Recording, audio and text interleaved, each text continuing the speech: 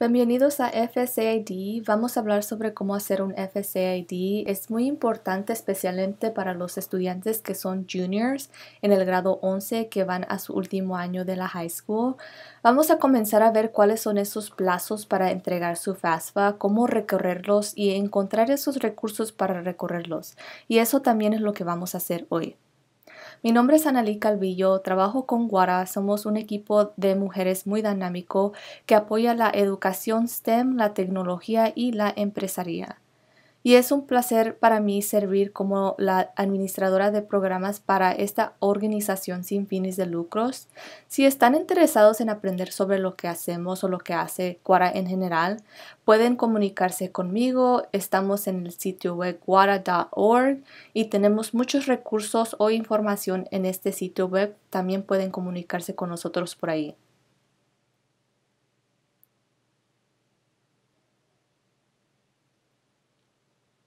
Ella es Esmeralda Buenrostro y actualmente ella es un junior en el grado 11 en Quincy High School. Ella también es una estudiante que ha comenzado a planear a ir al colegio y es la primera vez que hace su FCID. También tenemos el placer de colaborar con Gaby Fernández, que es la especialista en participación de familias y estudiantes en el EST 171 en Wenatchee. Ha trabajado ella con estudiantes sobre el tema de FAFSA y WASFA durante 15 años y es una de sus pasiones. Gaby y yo estaremos guiando a Esmeralda a hacer el proceso de crear un FCID y le vamos a pedir ahora que comparta su pantalla. Porque lo que vamos a hacer es mostrar dónde ir, qué hacer. Entonces, Esmeralda ahora va a compartir su pantalla.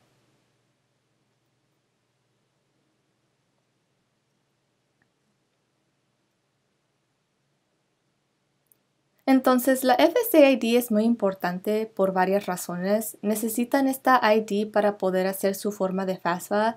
También necesitan esta ID para poder firmar legalmente su forma cuando esté completando esta forma y para poder entregar su forma de FAFSA también. Esmeralda ahora va a mover la página para arriba para ver unos enlaces.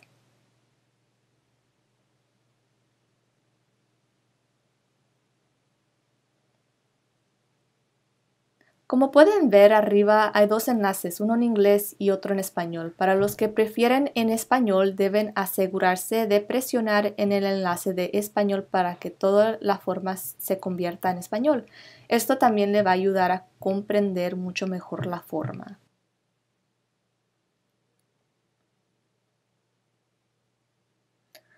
Otra cosa a tener en cuenta es que la forma les va a pedir varias, varias información como su seguro social, su número de teléfono, un correo electrónico y tiene que ser su teléfono y correo electrónico personal porque van a verificar con el sistema que ustedes son quien dicen quién son.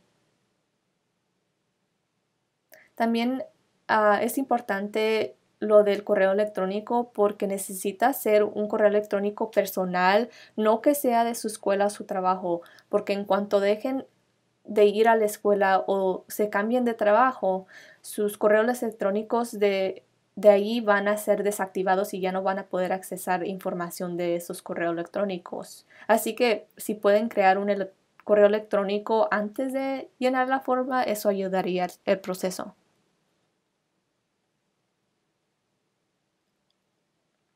Gaby también quería agregar que todos los estudiantes que nacieron en los Estados Unidos o son residentes legales pueden hacer el FCID para abrir su FAFSA. Si no nacieron o son residentes legales de los Estados Unidos, no se preocupan, también está WASFA y pueden hacer su identificación por ahí empezando octubre primero.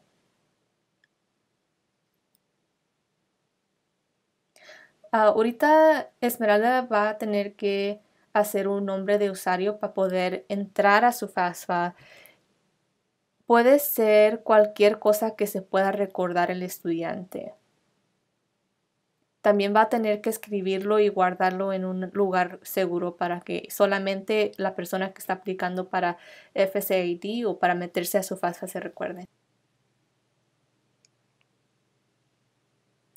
Otra cosa de agregar es que cuando crean estos nombres de usuarios o correo electrónicos, asegúrense que sean apropiados porque estarán compartiendo correo electrónicos con organizaciones de becas y FAFSA.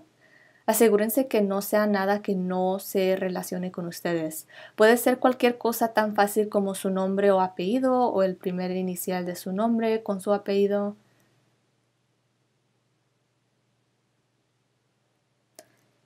Si el nombre de usuario no está disponible cuando lo estén poniendo en la caja, sigan intentando algo diferente hasta que lo permita seguir adelante. Continúen con las siguientes cajitas también para construir su contraseña. Y no olviden de escribir esta información también y guardarla en un lugar seguro.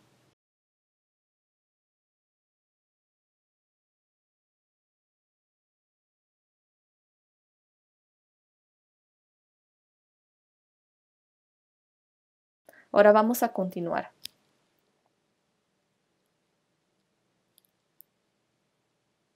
Ahora les va a pedir información personal. Esto quiere decir como su nombre. Asegúrense que su nombre sea igual que su ah, tarjeta de seguro social.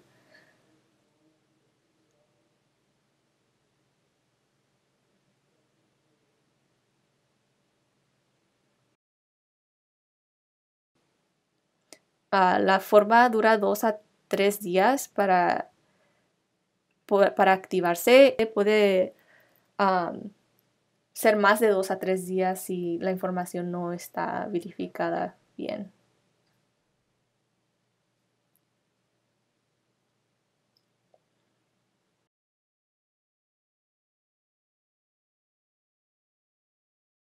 Y para su nacimiento también necesitan completar todos los números, que si sea que nacieron en mayo, no nomás pongan un 5, pongan 05 y luego ah, igual con el día, si es uh, mayo 1, 05, 01 y luego completo su año de nacimiento. Vamos a continuar. Ahora están pidiendo información de contacto como su dirección, su correo electrónico, número de teléfono. Y para el número alternativo también pueden usar el número de sus padres si tienen uno.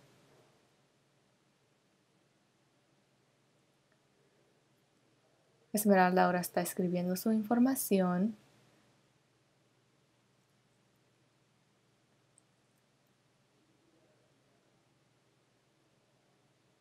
Para la dirección de la casa se necesita la dirección de su casa permanente, como si actualmente vive con sus padres, e incluso si se mudan de la casa de sus padres para ir al colegio, la dirección de la casa de sus padres sería la dirección que tendrían como dirección permanente siempre que soliciten una forma de FAFSA.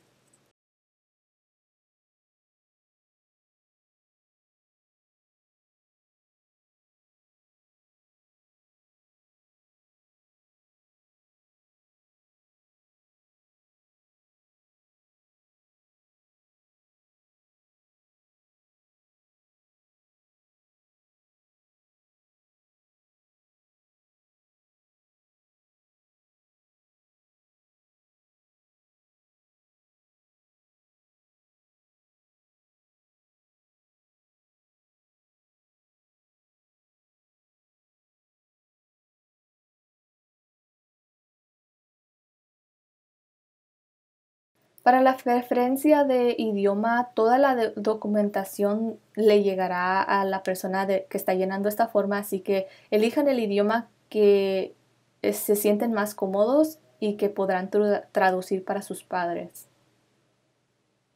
Ahora vamos a continuar.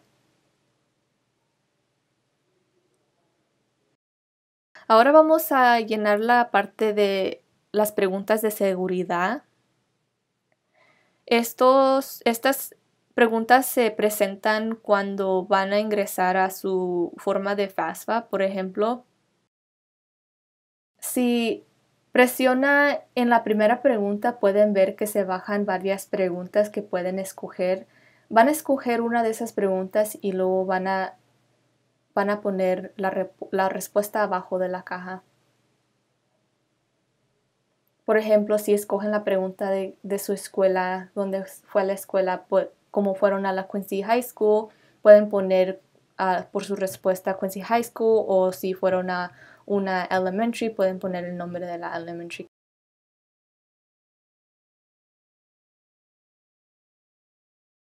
Y ahora Esmeralda va a hacer sus preguntas y sus respuestas. Hoy en día no hay suficiente seguridad, tienen que cuidar mucho su seguro social. Es la razón por cual hacen estas preguntas. También queremos agregar que sus padres, si no son residentes legales de los Estados Unidos, no necesitan crear una cuenta de FCID. Tendrán que ah, imprimir la página última de la forma y enviarla por correo. Si sí son residentes legales, lo que significa que pueden entrar y salir del país, necesitan hacer una cuenta de FCID. No usamos números de ITN para abrir FCID porque son solamente cuando hacen sus impuestos, para declarar sus impuestos. Ahora seguiremos.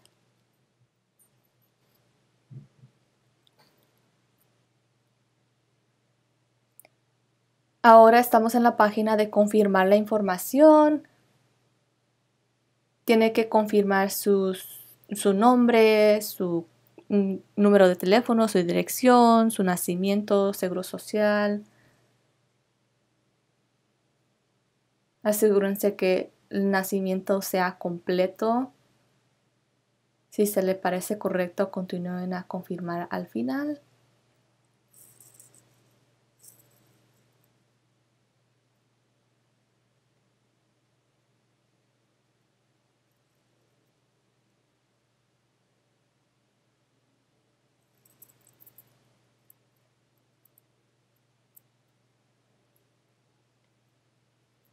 También abajo van a ver que tienen algunos términos y condiciones para que revisar.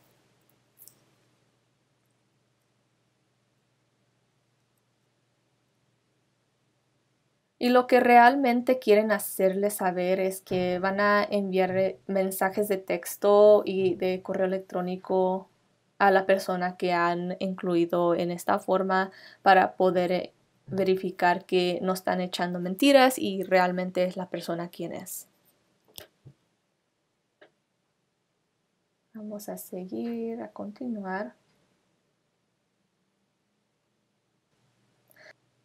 Ahora obtendrá un código y así es como verificará su número de teléfono. Si obtiene el código, entonces lo pondrá en la cajita para verificar.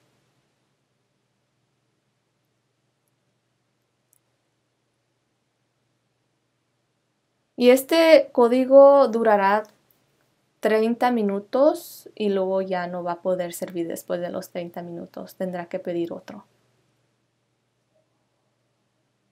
Y luego va a recibir un correo electrónico también con otro código que va a tener que confirmar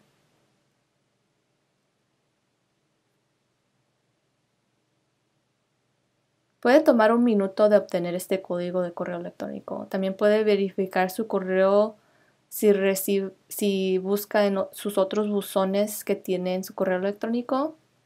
A veces se puede ir en otros buzones.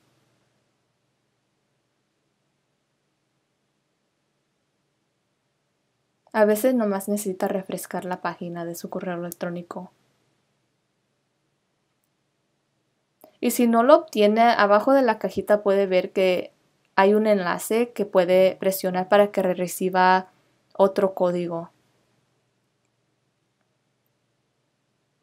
Mientras esperamos que Esmeralda ingrese el, código, queremos que todos los estudiantes de tercer de el grado 11 juniors sepan que pueden obtener ayuda con sus consejeros de escuela o de cualquier mentor que tengan que les esté ayudando a ir al colegio. También pueden usar este video para hacer la FCID de sus padres o puede verlo tantas veces como quiera. Octubre primero, acuérdense, es el día que van a abrir la, la forma de FAFSA. Es posible que publiquemos otro video para que la gente sepa aprender cómo hacerlo y cuáles son los requisitos para hacerlo. Felicidades a Esmeralda por crear su FCID.